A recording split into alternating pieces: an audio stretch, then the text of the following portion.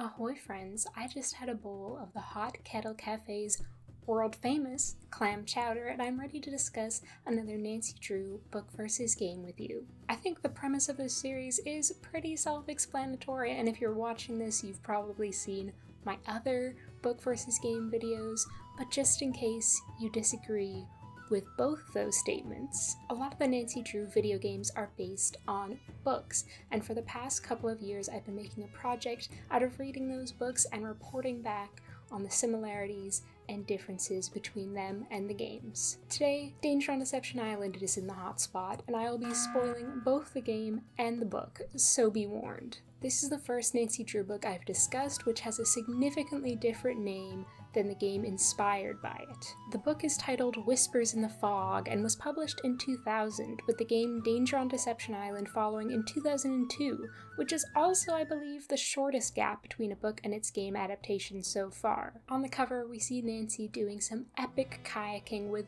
a vaguely formed second person hanging out in the background. On the rugged California coast, Nancy embarks on a deadly voyage. Well, there we go, we've already found a difference. This book is set in California, not Washington. The change makes a lot of sense. HeR Interactive had already made a game based in California, and their headquarters was in Seattle, so they could more easily draw upon their familiar surroundings. In my opinion, this was a fantastic choice, as the atmosphere and danger on Deception Island is so strong and palpable. When you play the game, you really feel you're there, which I'm sure is in part due to the development team's familiarity with the setting.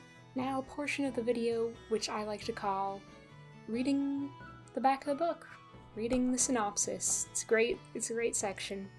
Guess what I do in it? Katie Firestone, champion kayaker and owner of a whale watching tour boat, has invited George, along with Nancy, Ned, and Bess, to vacation in Seabreak, north of San Francisco. But when Katie's boat is vandalized, suspicion falls on fisherman Holt Scotto, who may be trying to run Katie out of business.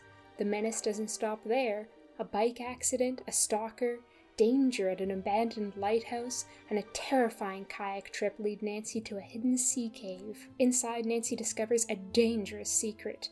Soon her fearless instincts plunge her deeper into trouble, and it will take all her courage, daring, and wits to get herself and her friends out of it alive.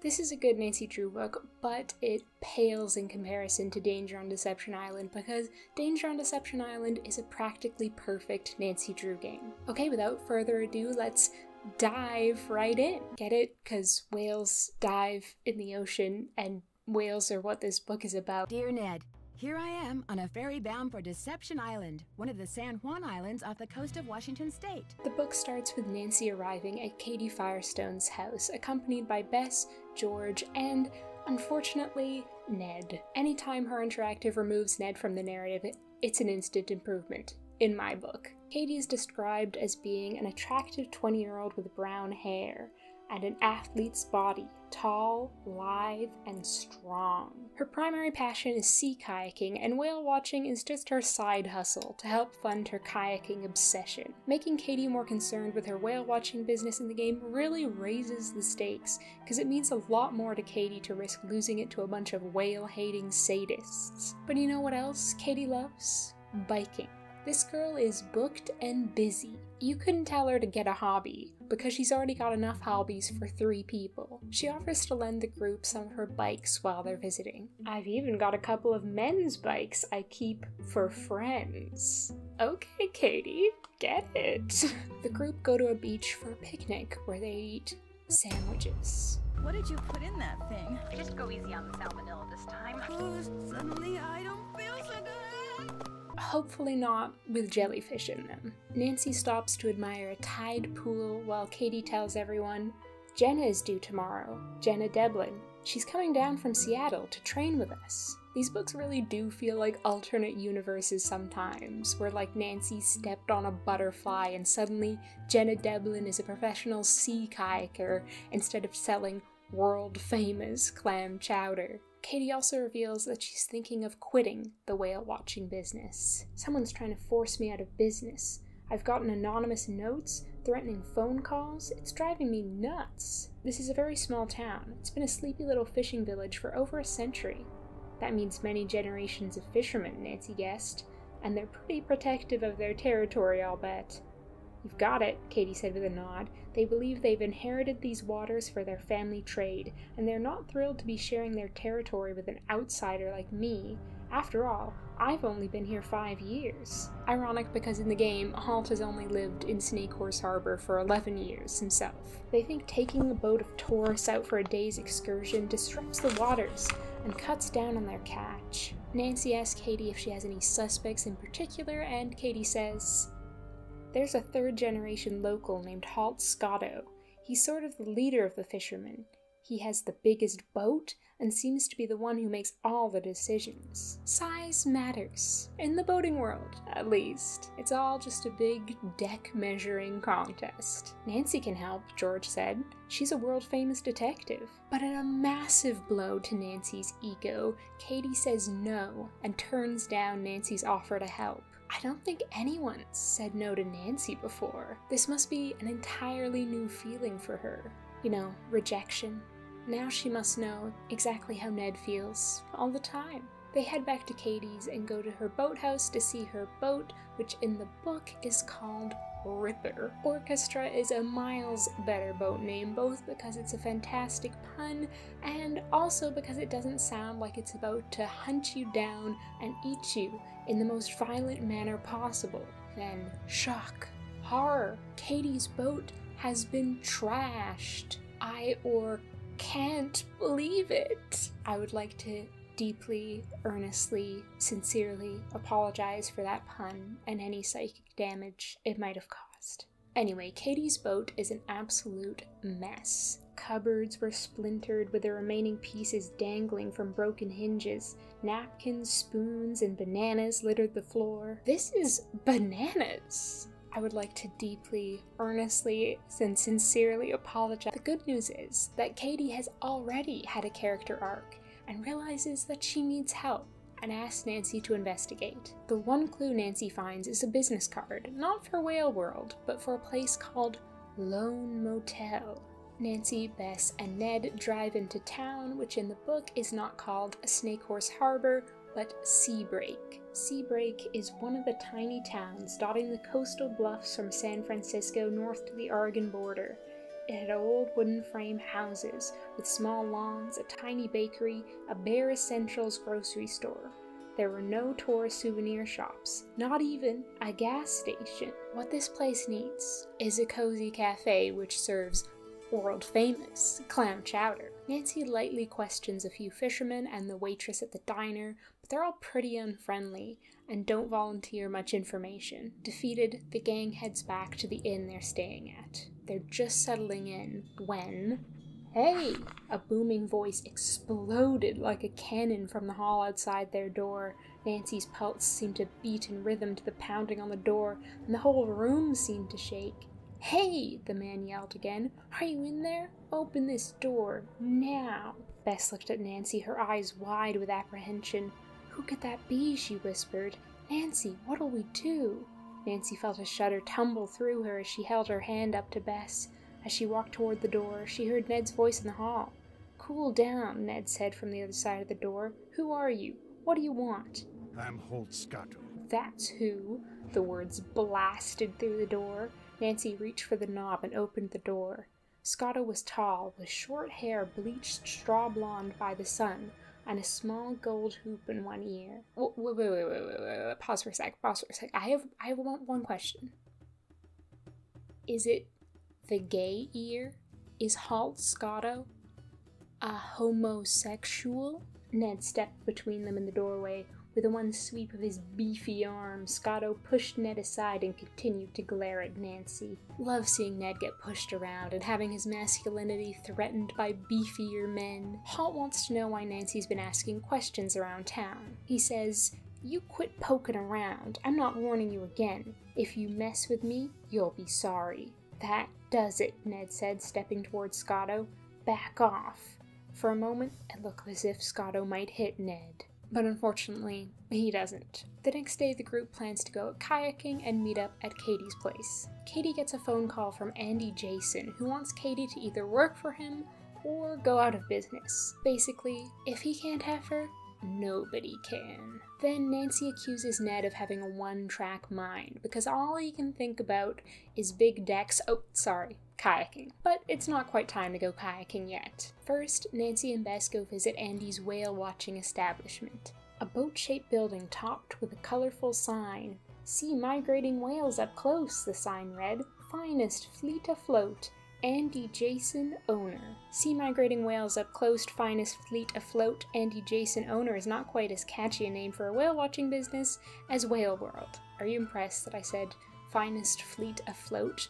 First try, multiple times, because I am. Nancy, for some incomprehensible reason, decides to pretend she's a reporter named Linny Lowell and that Bess is a photographer named Jane Cloud. Maybe she's practicing for her improv group? Nancy definitely strikes me as a potential theater kid.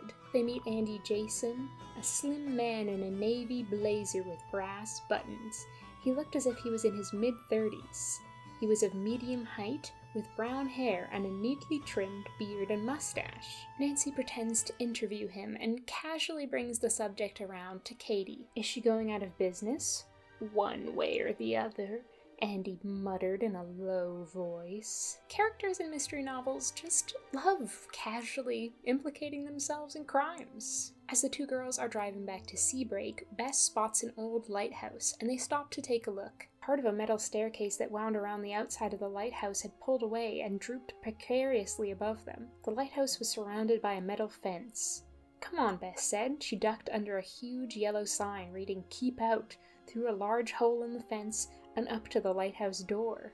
Wait, Bess? The same Bess who's usually like, no, no, Nancy, I want to go home. There are ghosts and mean men about, maybe even mean. I'm really scared of them. In fact, I'm scared of everything. I don't know if it's the sea air that's giving her the bravado or what. Maybe it's just that the ghostwriter didn't read the character manual properly, but either way, I'm here for it. Trespass a little as a treat. Break that law. You go, girl. There's a small closet. A low shuffling sound rustled from under the door. Nancy picked up a piece of driftwood and crept to the closet door. As she neared it, the sound behind the door became louder, more urgent. Holding the driftwood firmly with one hand, she grasped the knob with the other. Bess stood close behind her, holding a large rock she'd found on the lighthouse floor. I love that in these books, when faced with a potential threat, these teen girls just revert to their inner cave people and pick up the nearest big rock and big stick to defend themselves with. Nancy opens the closet door, and you'll never guess what's inside. A seagull. Yikes, Bess cried. I was really scared for a minute. Okay, yeah, that was short lived. Bess is back to her usual cowardly self, afraid of a little seagull. When the girls go to leave, they discover that they've been locked in. They eventually manage to push the door open and discover that someone stacked a pile of rocks outside the door while they were inside. Back at Katie's house, Jenna Deblin has arrived.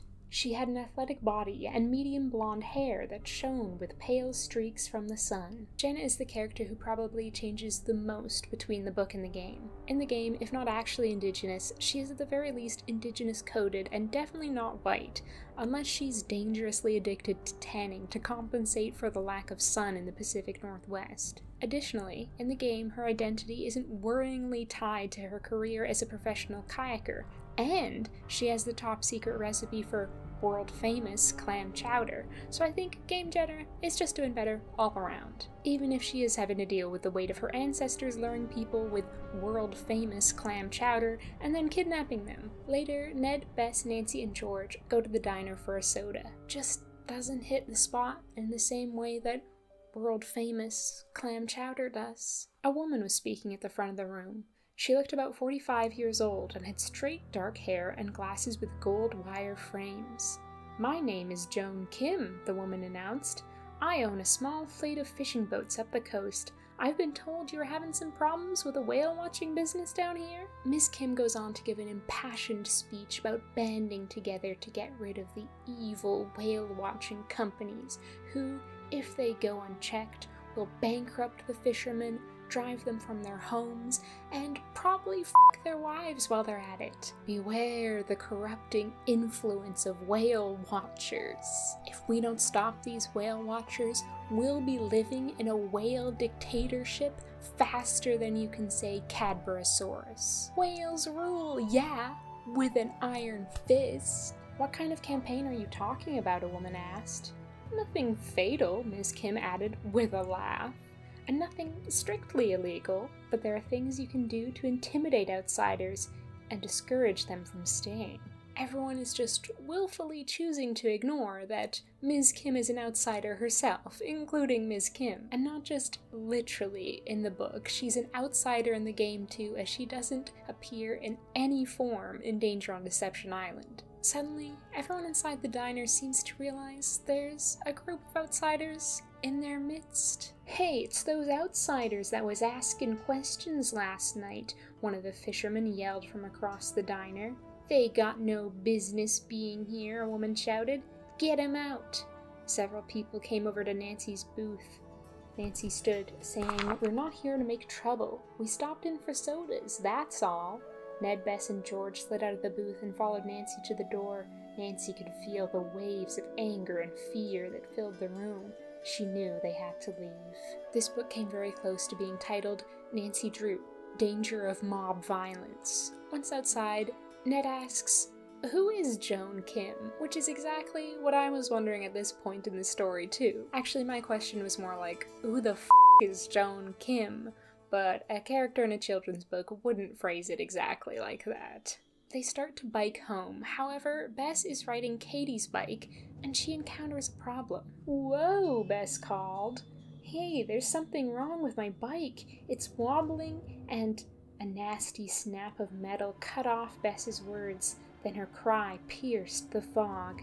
Bess's bike seemed to fly apart. Horrified, Nancy watched Bess barrel into Ned, somersaulting over his back wheel and landing with a horrible scraping skid on the side of the road. Bess landed in the dirt. She didn't move or cry out. I sure hope she was wearing a helmet. Bess has a broken wrist but is otherwise okay, and Nancy discovers that the damage to Katie's bike was intentional. At the clinic, Nancy and Ned run into Andy, who is still under the impression that Nancy is a reporter named Linny Lowell, which in fact he will be for the entirety of the book. Nancy introduces Ned as Ned Nordstrom, digging herself deeper into her hole of lies. Andy is suspicious that they're at the clinic with Katie, even though Nancy explained that Katie apparently drove by as Bess sorry, Jane, fell and offered them a ride to the clinic. Back at the inn, Nancy discovers a note in her and Bess's room. So sorry your friend got hurt, but it's your fault. This is just the beginning unless you back off and stay out of things that are none of your business. Nancy wonders how someone could have known about Bess's accident so soon after it happened to leave the note. The next day, the group finally decide to go out kayaking, which is something that Jenna is very excited about. It's time to forget all this detective stuff and get on with our real mission in life sea kayaking. At the beach, Nancy spots something. A huge wave was roaring toward the shore. Unaware, Jenna, her back to the ocean, was adjusting the helmet around her ears. Nancy ran faster, but she was too late. No one could reach Jenna in time. Helpless, Nancy watched the wave fold over the beach and crash. When the foam and water retreated, Jenna was gone. This is a scene literally taken out of my nightmares. The first and most vivid nightmare I can remember is of my whole family being dragged out to sea by a wave. I did not expect to be confronted by one of my greatest childhood fears while reading a Nancy Drew book. The others spring into action, grabbing their kayaks and heading out into the waves. Luckily, they won't be permanently waving goodbye to Jenna because soon they spot her helmet. Another reason why it's important to wear one, you're easier to spot in the water after a wave drags you out to sea. They rescue Jenna, who shockingly is ready to get right back out there. I've had quite a few surf spills in my career, but that was one of the worst, Jenna said, glowering at Katie. And you're gonna pay for it too, she added. with the hardest workout you've ever had. To start with, you can pull me back to shore to get my kayak. Am I sensing a little something here between Katie and Jenna? Or is it just confirmation bias of my head headcanon that Katie and Jenna are ex girlfriends in Danger on Deception Island? Nancy and Ned break off from the rest of the group, and Ned says, How about a race? I'll give you a two minute head start.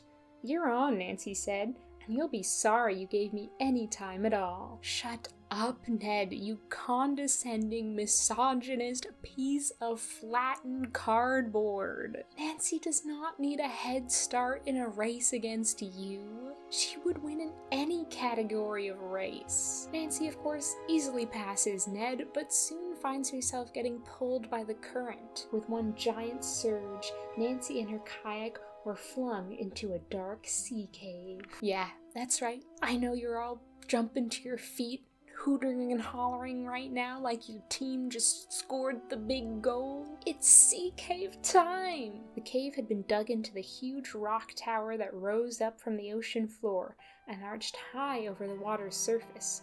Over centuries, the sea had hollowed out the rock into a long, dark grotto. That's a good word that you don't see often enough. Grotto. A few columns of light filtered down through holes in the high ceiling of the cave. Nancy's kayak was tangled in webs of kelp that had been swept into the cave with her.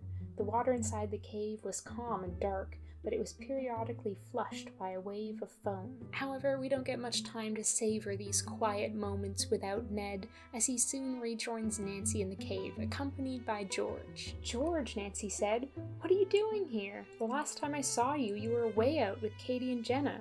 Yeah, well, it wasn't much fun, George replied. They have a real competitive thing going on. I mean, they are ferocious. There's no way I could keep up. I am eating up any and all information about Katie and Jenna's toxic situationship like it's a bowl of the Hot Kettle Cafe's world famous clam chowder. And boy, it's good eating. Nancy, George, and Ned explore the cave, and Nancy finds something. It was a silver belt buckle in the shape of a horse's head with a windswept mane. Very cool, George said. I completely agree, George. I would wear that any day of the week. But now we know our culprit is a horse girl, which doesn't really narrow down our list of suspects. Like, if Andy Jason wasn't such a whale boy, he would a hundred percent be a horse girl. I bet he has a secret past of being super competitive in dressage competitions. The trio continued to look around the cave. Nancy heard an odd sound. It was almost like a whisper, echoing around the walls of the cave. Did you hear that? she asked, her voice hushed as she listened. What? I didn't hear anything, Ned said. He sounded a little impatient. You know what? I'm ready to get out of here. God, Ned is boring. This is just confirmation of what we already know that he has almost zero sense of adventure. As Nancy drifted, she heard the sound again. A low whisper floated through the fog. Hey, that's the title! They said the title! Well, pretty much. Close enough. I'm not hearing anything but my stomach growling, Ned said. I'm getting out of this place. Ned, please shut up challenge. However, Nancy demonstrates a powerful lesson for all girls and women out there. She doesn't listen to the man trying to deny her feelings and instead follows her gut. The soft whisper came closer and closer. Then something large and dark slowly broke the surface, and one huge eye stared straight at her. Nancy held her breath as she stared back at the large eye. Fog broke, and she could see the source of the sad sounding whispers and moans. A small whale stared right at her from some sort of holding pool. A whale, Ned said. It's a whale. Thanks for that, Ned. Very insightful. They leave the whale to reunite with Katie and Jenna and discover that they've come out in a different location. They're forced to bring their kayaks up to shore and continue on foot along the beach. They ran out of sandy beach and had to cross over large flat rocks, jumping from one to the other. Ned, Nancy, and George eventually reunite with the others and they all go check out a nearby souvenir shop. On the wall, there are pictures of various celebrities who've come to visit the shop. As Nancy neared a display of accessories, her heart skipped a beat one particular item attracted her with its silvery gleam. It was a navy blue patent leather belt with a silver horse's head buckle, and it was exactly like the buckle that she had tugged from the rocky wall of the sea cave. The shopkeeper notices Nancy looking and mentions that someone bought a similar belt buckle recently. The shopkeeper guided Nancy over to the wall of photographs. Let me see, was that one bought by a celebrity? Hmm, no, there it is. I don't recognize her as anybody, do you? Shopkeeper pointed to a photograph. The woman in the photo wearing the horse's head buckle was Joan Kim. Awfully convenient of her to just put up pictures of random people who've bought things in her shop as well as celebrities. Unless none of those people are celebrities and she's just trying to convince people her shop is a hot spot for the stars for clout. Anyway, Joan Kim is revealed as the secret horse girl. The next day, the sheriff takes Holt in for questioning in regards to Bess's biking accident, and Nancy and Ned are invited along to participate for some reason. I'm not sure that's correct police procedure, but I'll ignore it for plot reasons. I suppose they think I did it, Scotto said, flopping his long arm out to point at Ned and Nancy. Well, that's nuts, he said fiercely. I never did any of those things. Did you pile the rocks outside the door of that abandoned lighthouse down the coast? Nancy asked, and barricade my friend and me inside? Scotto looked up quickly, his eyes glaring at Nancy. He sputtered for a few minutes, then declared, Yes, yes, I did, and I'd do it again, just the same. He turned to the sheriff. I'd like to file a complaint, he said, against her. He pointed at Nancy again. She was trespassing, he continued entering private property and walking around and all. Arrest her. Holt really throwing the Uno reverse card down onto the table. I am going to jail? Actually, I think you'll find that you're going to jail. The sheriff eventually ends the interview by telling Nancy and Holt to stay away from each other. I bet he's sick of dealing with the childish bickering between a hot headed Republican fisherman and an interfering amateur teen detective about which one of them is guilty of various miscellaneous crimes. Bess does some research and discovers that the sea cave is owned by a company named Shore Imports Inc. That's shore like ocean shore. That Shore is a lame pun. And guess who's the president of Shore Imports Inc.? The one and only closet cowgirl, Joan Kim, who's now been outed both for her passion for ponies and for owning a sketchy company, which is both an offshore company and a shore company. Nancy and the Drew crew take out Katie's boat to check on the baby whale, but it's gone. When they leave the cave, they see something. Nancy was stunned to see a huge ship apparently anchored about 500 yards out in the harbor. It looks like some sort of freighter, she suggested. Because of the rocks in the sea and the enormous bluff, the ship was probably not visible from any road. I'll bet this is a private harbor for Joan Kim's outfit, Nancy guessed. I think we need to check out that ship. Nancy steers the Ripper towards the freighter, but then she felt a searing pain on the back of her head. Her knees felt like melted gelatin, and the blood all seemed to rush from her head. The last thing she heard as she crumpled to the floor was a plaintive, unearthly moan. This really makes this sound like this was attempted murder by the whale. When Nancy wakes up, she, Bess, and Ned are tied up and being held captive on the freighter. It was two men, Bess said in a hushed voice. They just appeared over the railing of the deck. They must have approached in a raft or rubber boat, Nancy said. I never heard a thing. Neither did I or Ned, Bess whispered.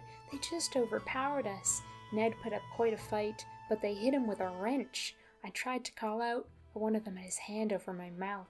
So Nancy just didn't hear her boyfriend getting smacked on the head with a wrench? Nancy's really the one in the relationship with a one track mind. Ned's mind, on the other hand, doesn't have any tracks at all. Oh, groaned Ned from the corner of the small room. Ooh. Shush, Bess and Nancy both hushed Ned. Glad to see Nancy and Bess are also participating in the Ned Please Shut Up challenge. They manage to get their bindings undone and creep around the ship. Nancy gets separated from Bess and Ned and enters a room only to find herself face to face with Joan Kim. Ms. Drew, the tall, attractive woman said. She was dressed in a purple silk jumpsuit. She may have kidnapped three teenagers and a poor little baby whale, but no one can say she wasn't serving while she did it. But soon she'll be serving more than just She'll be serving an extended prison sentence. Turns out they're in the ship's dining room, and there's a window behind Joan Kim. In the window, Nancy can see that Joan is holding a gun behind her back. Joan explains her evil plot. I own ships around the world and capture whale calves to sell to our clients. What do your clients do with them? Nancy asked. Not sure she wanted to hear the answer. It's not my concern, Kim said with an offhand gesture. Some are put in zoos or films or other such attractions. Some are probably eaten. This book has surprisingly taken a much darker turn than the game. And he just wanted to use the whale to pilfer sunken treasure, which feels like baby's first crime in comparison to illegally selling baby whales to be made into whale nuggets. While Joan talks, Nancy grabs a pepper shaker from one of the tables and holds it behind her. Nancy has brought a pepper shaker to a gunfight. Can't wait to see how that turns out for her. I wouldn't necessarily recommend it. And you sawed the axle on Bess's bike too, right? Nancy said, and vandalized Katie's boat. The woman seemed taken aback. Bicycle axle? she repeated. I know nothing about that, and I did nothing to Miss Firestone's boat. I considered it, but someone beat me to it. So it looks like the book has two culprits, but we don't know who the second one is yet. Then Nancy mentions the horse shaped belt buckle. Joan Kim's expression softened immediately. My buckle? Where did you find it? It's one of my favorite pieces. Give it back to me now. I love the villain just kind of forgetting the situation she's in because she loves her belt buckle so much. If I was her, I would just shoot Nancy and take it off her dead body, but Joan Kim doesn't think smart, not hard, like I do. Keeping the pepper shaker under her sweater, Nancy pulled her hand around to the front. With both hands under her sweater, she pretended to be unbuckling a belt. Then, with one quick, sure gesture, she pulled the shaker out from under her sweater and, leaning forward, dashed the contents in Joan Kim's face. Then Nancy reached back immediately and grabbed a candlestick from the table. What? What have you done? Her left arm came out from behind her back, but her eyes were clenched tightly against the pepper. Nancy was ready for her, slamming the candlestick into the woman's arm with a solid blow. The gun flew across the room, landing in a soft easy chair in the far corner. Joan Kim doubled over, her left arm hung limp. Her right hand swiped frantically at the pepper dust on her face. As Nancy grabbed her arms, the woman tried to fight, but she was stunned by the pepper. Tears rippled out from her eyelids and rolled in streaky patterns down the black and gray speckles covering her cheeks. Her nose ran and she tried to yell for help, but with every breath she inhaled more pepper. The only sounds that came out were gagged squeaks and coughing spasms. Within minutes, Nancy had tied Joan Kim to a heavy radiator against the wall. She tied the bandana around her mouth as a gag. She didn't pull it too tight, because the woman was still having trouble breathing. Absolutely brutal. Well, she's proven conclusively that the pepper shaker is mightier than the gun. Then Nancy, after breaking a woman's arm and probably giving her permanent respiratory issues, casually pockets the gun and strolls out of the room. Nancy has the makings of a cold hearted criminal. We're so fortunate that she's chosen to use her powers for good. She then summons the Coast Guard with a flare and they rescue Nancy and her friends and arrest Joan Kim. Then the gang go out for a seafood dinner. Nancy, I can't thank you enough for solving the case, Katie said. I can finally do my cruises and not worry about harassment. Or worse. I appreciate your thanks, Nancy said, but I'm not convinced the case is totally solved. We still don't know who trashed the Ripper and who tampered with the bike. I still don't like Andy Jason, George said. What about him? I haven't ruled him out, Nancy said, he doesn't really seem to be trying to run Katie out of business. He seems to want to work with her.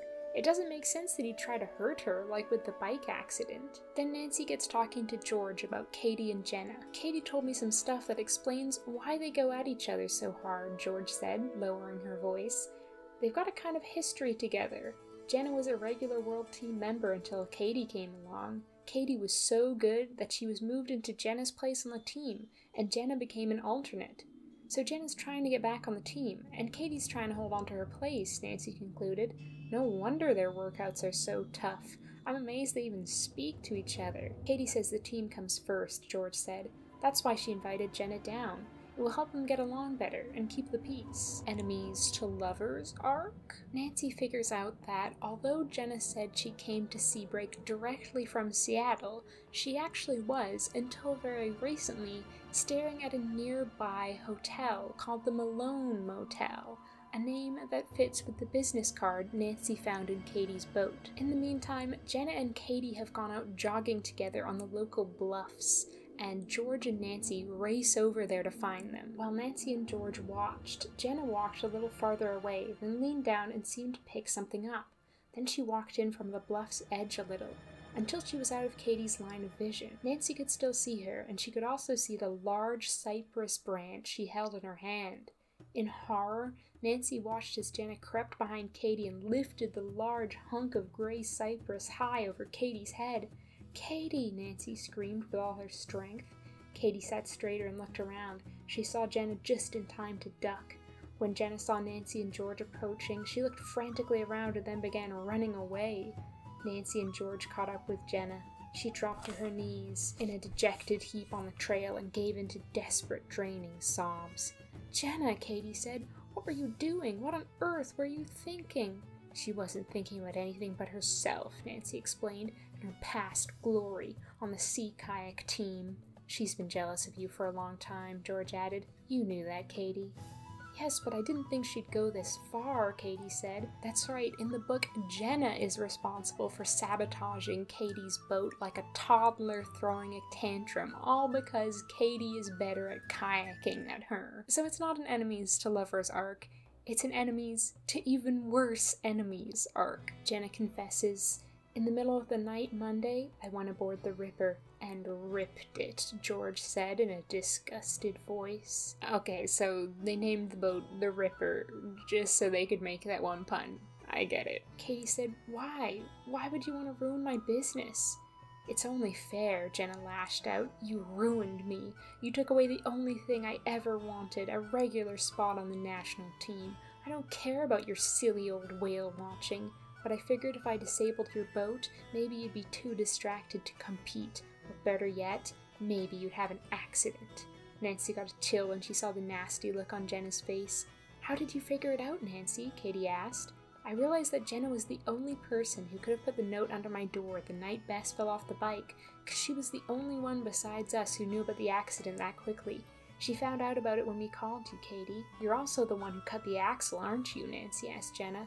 Yes, Jenna hissed, but it was Katie's bike. She was supposed to have the accident. Then Jenna is taken away by the sheriff for her crimes. If she'd just devoted herself to making world famous clam chowder instead of professional sea kayaking, none of this would have happened. That evening, Nancy, Katie, George, Bess, and Ned fixed a celebration dinner of grilled tuna and homemade fries. I've decided that if Jenna will agree to get counseling, I won't press charges, Katie said. She needs serious help here, not prison. Besides, when the World Kayaking Organization hears about this, she'll be banned for life. That will punish her more than anything, Bess said sadly. Ned laughed out loud as he helped himself to a third helping of fries. What's so funny? Bess asked. I was just thinking about the first time we talked about taking this trip. I knew I'd like the kayaking, but I figured the rest of the time would be a big snooze. Was I ever wrong?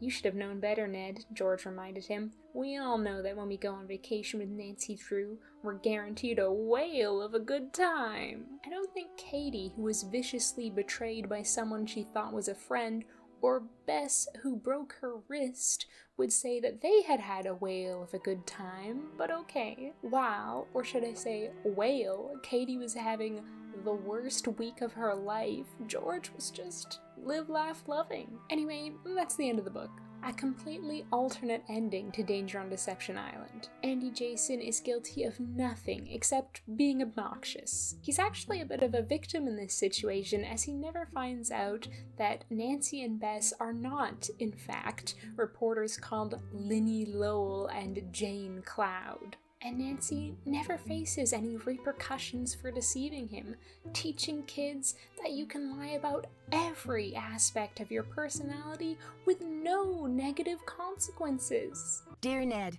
I've got to hand it to Andy Jason. The plan he cooked up to recover smuggled animal furs was a darn good one. If you'll permit me to make a comparison, Whispers in the Fog is the Dall's porpoise to Danger on Deception Island's grey whale. While they're both whales, there's a myriad of differences between them. What I'm trying to say is that although on a surface level the book and the game appear to have quite a few things in common, they're actually very different. For one thing, the characters in Danger on Deception Island are all way nicer to Nancy than they are in Whispers in the Fog. And if you're like, wait, Chloe, doesn't Holt in the game practically insist on Nancy acing his little seamanship quiz and catching him dinner before she's allowed to even talk to him? Doesn't he say, you again? Whenever Nancy approaches him in the most aggrieved manner possible for her daring to disturb him from his very important work of sitting around the hot kettle cafe doing sweet f all? And to that I would answer,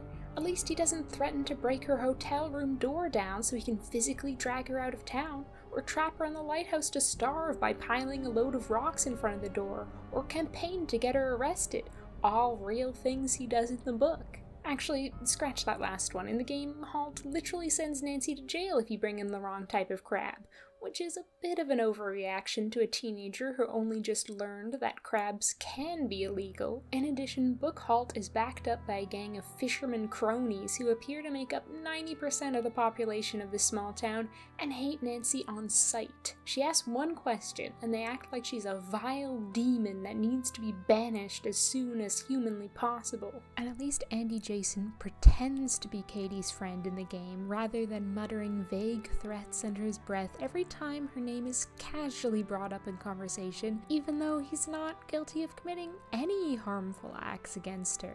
The hostile vibes are as thick and unignorable as sea fog, and there are a lot of fun elements which are unique to the game. Hilda Swenson, Whale World, Cadborosaurus, the Hot Kettle Cafe, and the tunnels under town, the list goes on. Sandwiches are a common denominator in both, though, as they clearly know sandwiches are a key part of a good life.